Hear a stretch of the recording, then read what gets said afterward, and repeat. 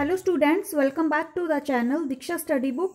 अगर आप मेरे चैनल पे नए हैं तो सबसे पहले आप मेरे चैनल को ज़रूर सब्सक्राइब कर लें वीडियो को एंड तक देखें और वीडियो को लाइक करना ना भूलें अपने दोस्तों के साथ ज़रूर शेयर करें। और अगर आपने मेरे प्रीवियस लेक्चर्स को नहीं देखा है तो आप प्लेलिस्ट में जाकर उसे ज़रूर देख लें। सो so, आज का हमारा टॉपिक है mechanism of action of steroid hormones. So so, हमने पिछले लेक्चर में डिस्कस किया था mechanism of action of the quick acting hormones quick acting hormones और स्टीरॉयड हॉर्मोन्स के एक्शन में क्या फ़र्क है? कि जो क्विक एक्टिंग हॉर्मोन्स होते हैं वो अपना बायोलॉजिकल रिस्पॉन्स देने के लिए ज़रा भी टाइम नहीं लेते हैं लेकिन स्टीरॉयड हॉर्मोन्स अपना बायोलॉजिकल रिस्पॉन्स देने के लिए कुछ टाइम लेते हैं। सो so, जैसे कि ओवरी टेस्टिस और एड्रीनल कॉटेक्स के जो हॉर्मोन्स होते हैं वो केमिकल कॉम्पोजिशंस के होते हैं और हमेशा स्टीरोइड होते हैं। और ये हमेशा एक्ट जो करते हैं, वो लैग पीरियड के बाद एक्ट करते हैं। अब लैग पीरियड का मतलब है कि ये जब एंडोक्राइन ग्लैंड से सिक्रीट होते हैं तो ये टारगेट सेल्स के ऊपर जब एक्ट करते हैं तो उसके रिस्पॉन्स के लिए वो कुछ टाइम लेते हैं। अब ये टाइम जो है, वो सेकेंड्स भी हो सकते हैं मिनट्स भी हो सकते हैं आवर्स भी हो सकते हैं और डेज़ भी हो सकते हैं। इसके ऊपर एक मैकेनिज्म है दैट इज़ जेनेटिक और M R N A hypothesis so so, इसका मैकेनिज्म क्या है? Endocrine gland secrete steroid hormones and enter into the cytosol of target cell endocrine glands क्या करते हैं कि स्टीरोइड हॉर्मोन्स को सिक्रीट करते हैं और स्टीरोइड हॉर्मोन्स एक्ट करते हैं फ़र्स्ट मैसेंजर की तरह। अब स्टीरोइड हॉर्मोन्स जो हैं वो टारगेट सेल के साइटोजोल में एंटर कर जाते हैं। Because cytosols are small sized and fat soluble क्या होता है कि जो साइटोजोल्स हैं, वो स्मॉल साइज़ के होते हैं और फैट को एब्जॉर्ब ईजिली कर लेते हैं। इसलिए क्या है कि स्टीरोइड हॉर्मोन्स टारगेट सेल के सेल मेम्ब्रेन में ईजिली एंटर कर जाएँगे। These steroid hormones bind with cytosolic protein receptor and make a complex that is hormone receptor complex.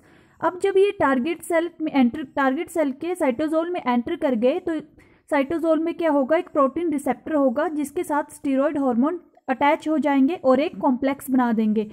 वो कॉम्प्लेक्स कौन सा होगा? Hormone receptor complex and that's act as the second messenger. अब ये hormone receptor complex diffuse होगा और target cell के nucleus में चला जाएगा। अब जब ये न्यूक्लियस में चला गया तो ये न्यूक्लियस के साथ अटैच हो जाएगा और डीएनए के सेगमेंट को एक्टिवेट कर देगा। अब डीएनए के सेगमेंट जब एक्टिवेट हो गए तो ये क्या करेंगे? ट्रांसक्रिप्शन स्टार्ट कर देंगे और स्पेसिफिक एमआरएनए की फॉर्मेशन कर देंगे। स्पेसिफिक एमआरएनए जो होगा वो साइटोप्लाज्म में डिफ्यूज हो जाएगा और साइटोप्लाज्म क्या करेगा फिर? राइबोसोम के साथ अटैच हो जाएगा और पोलीराइबोसोम्स बना देगा। पोलीराइबोसोम्स क्या करेंगे कि ट्रांसलेट करेंगे स्पेसिफिक प्रोटीन्स को और प्रोटीन्स अपने फ़ंक्शन स्टार्ट कर देगा। सो so, ये है मैकेनिज्म एमआरएनए हाइपोथेसिस का। इसको जैसे कि हम क्विक रिवीजन में एक बार फिर से देखते हैं कि एंडोक्राइन ग्लैंड्स स्टीरोइड हार्मोन्स को सिक्रीट करते हैं। ये स्टीरोइड हार्मोन्स टारगेट सेल के साइटोजोल में एंटर कर जाएँगे। फिर क्या करेंगे कि, कि साइटोजोलिक प्रोटीन रिसेप्टर के साथ अटैच हो जाएँगे और हार्मोन रिसेप्टर कॉम्प्लेक्स बना देंगे। ये कॉम्प्लेक्स जो होगा, वो डिफ्यूज हो जाएगा और टारगेट सेल के न्यूक्लियस के साथ अटैच्ड हो जाएगा, जिसकी वजह से क्या होगा कि डीएनए के सेगमेंट्स एक्टिवेट हो जाएँगे और ट्रांसक्रिप्शन स्टार्ट कर देंगे और एमआरएनए की फॉर्मेशन कर देंगे। ये एमआरएनए डिफ्यूज हो जाएगा साइटोप्लाज्म में और बाइंड कर जाएँगे ये राइबोसोम के साथ। ये राइबोसोम क्या करेंगे? पॉलीराइबोसोम्स की फॉर्मेशन करेंगे और ट्रांस ट्रांसलेट करेंगे स्पेसिफिक प्रोटीन्स को। अब ये स्पेसिफिक प्रोटीन्स क्या फ़ंक्शन करेंगे? As an enzyme structural protein transport and help in other function इसके बाद है mechanism of action of estrogens अब इसमें क्या है कि ओवरीज जो होती हैं, उसमें ग्राफिन फॉलिकल्स होते हैं। ग्रेफिन फॉलिकल्स में फॉलिकुलर सेल्स होते हैं और ये फॉलिकुलर सेल्स जो हैं, वो स्टीरोइड हार्मोन सिक्रीट करते हैं। और ये स्टीरोइड हॉर्मोन्स कौन से हैं? एस्ट्रोजेंस एस्ट्रोजेंस के सबसे इंपॉर्टेंट कौन सा एस्ट्रोजन होता है? Beta estradiol that is the most potent जो कि मैंने आपको पिछले लेक्चर में बताया है। अगर आपने लेक्चर्स नहीं देखे हैं तो आप मेरे प्लेलिस्ट में जाकर चेक कर सकते हैं रिप्रोडक्टिव बायोलॉजी और बीटा एस्ट्रोडायोल के बाद है एस्ट्रियोल एंड सबसे वीक जो है वो है एस्ट्रोन अभी सब बीटा एस्ट्रोडायोल सबसे ज़्यादा इंपॉर्टेंट क्यों है? क्योंकि इसका टारगेट सेल्स जो हैं वो यूट्राइन के सेल्स होते हैं। इसके मैकेनिज्म देखते हैं हम। यहाँ पे फ़र्स्ट मैसेंजर जो है, वो बीटा एस्ट्राडायोल है। अब बीटा एस्ट्राडायोल्स जो होंगे, वो एकदम से डिफ्यूज हो जाएँगे और यूट्राइन सेल्स के साइटोजोल में एंटर कर जाएँगे।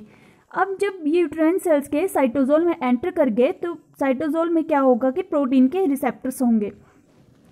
जब ये प्रोटीन रिसेप्टर के साथ अटैच हो जाएगा तो एक कॉम्प्लेक्स बना देंगे hormone receptor complex that is the estrophilin too अब जब बीटा एस्ट्राडायोल ओवरी से सिक्रीट होगा तो ये हार्मोन कॉम्प्लेक्स बनाने के लिए जो टाइम लेगा, वो होता है फिफ्टीन सेकेंड्स अब ये हार्मोन कॉम्प्लेक्स क्या करेगा? एंटर कर जाएगा न्यूक्लियस में और न्यूक्लियस के साथ अटैच हो जाएगा. अटैचमेंट के बाद ये डीएनए के सेगमेंट्स को इंस्ट्रक्ट कर देगा इंस्ट्रक्शंस देगा कि क्या करे ये? एक स्पेसिफिक एमआरएनए को ट्रांसक्रा ट्रांसक्राइब करे।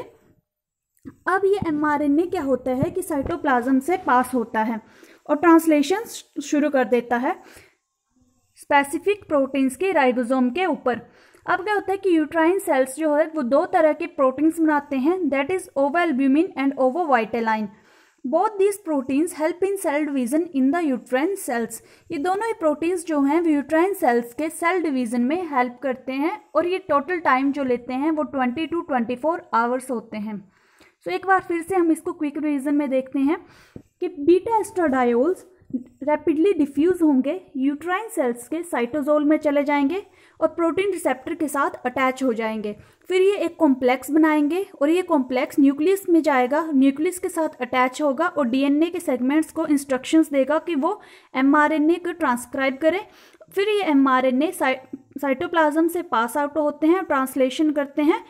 राइबोसोम प्रोटीन्स की राइबोसोम के ऊपर यूट्राइन सेल्स में दो प्रोटीन्स फॉर्म्ड होते हैं ओवा एल्ब्यूमिन एंड ओवर वाइटेलाइन ये दोनों ही प्रोटीन्स जो होते हैं, वो सेल डिवीज़न करते हैं, यूट्राइन सेल्स में, और टोटल टाइम लेते हैं twenty two twenty four hours. So, इसके बाद हम एक डिफरेंस डिस्कस करते हैं। That is quick acting hormones and lag period hormones. So, quick acting hormones जो होते हैं, वो अपना रिस्पॉन्स इमिडिएटली देते हैं, लेकिन लैक पीरियड हॉर्मोन्स अपना रिस्पॉन्स देने के लिए कुछ टाइम लेते हैं। Quick acting hormones large size के मोलिक्यूल्स होते हैं, लेकिन लैक पीरियड के हॉर्मोन्स स्मॉल साइज़ के मोलिक्यूल्स होते हैं।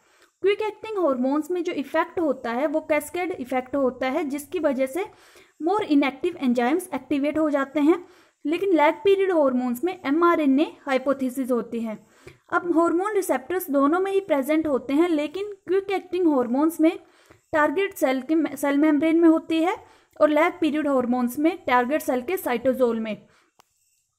क्विक एक्टिंग हॉर्मोन्स में जो सेकंड मैसेंजर है, वो होता है साइक्लिक एएमपी लेकिन लैग पीरियड्स के हॉर्मोन्स में हार्मोन रिसेप्टर कॉम्प्लेक्स होता है। क्विक एक्टिंग हॉर्मोन्स में एपिनेफ्राइन आएगा, लैग पीरियड्स में beta estradiol quick acting hormones के जो हॉर्मोन्स है, वो प्रोटीनेशियस नेचर के होंगे, लेकिन लैग पीरियड के हॉर्मोन्स स्टीरोइड हॉर्मोन्स होंगे। सो ये था डिफरेंस अगर आप इन दोनों के डिफरेंस को अच्छी तरह से कर लेंगे तो आप कोई भी मैकेनिज्म आसानी से कर सकेंगे। सो आई होप सो स्टूडेंट्स के आपको मेरे पढ़ाए हुए तीनों लेक्चर समझ आ गए होंगे। अगर आपको लगता है कि वीडियो फास्ट है तो आप इसको स्लो करके भी देख सकते हैं। नेक्स्ट लेक्चर में हम डिस्कस करेंगे gonadotropic hormones that is the follicular stimulate follicular stimulate hormones and second one is the luteinizing hormones so मेरे साथ ज़रूर बने रहें। मेरे चैनल को ज़रूर सब्सक्राइब करें। अपने दोस्तों के साथ भी ज़रूर शेयर करें। कोई भी क्वेरी हो तो आप मुझे ईजिली कमेंट कर सकते हैं। और वीडियो को लाइक करना ना भूलें। Thanks for watching keep spotting Diksha study book thank you so much